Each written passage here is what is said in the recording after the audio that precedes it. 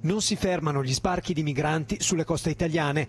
Oggi Ortona, in Abruzzo, accoglie la nave Life Support di Emergency. A bordo ci sono 161 persone soccorse in mare, tra cui tre donne incinte. A dare le proporzioni dell'emergenza il confronto con i numeri dello scorso anno. Nei primi tre mesi del 2022 erano sbarcati 6.543 migranti, tanti quanti ne sono giunti solo negli ultimi cinque giorni. Il totale degli ingressi dall'inizio dell'anno, dicono i dati del Viminale, è di 27.000 arrivi, il quadruplo rispetto allo stesso periodo del 2022. Numeri enormi a cui il sistema dell'accoglienza fatica a fare fronte mentre resta aperto lo scontro tra governo e ONG accusate di ostacolare le operazioni di soccorso e costrette a seguire le norme più stringenti del decreto Piantedosi.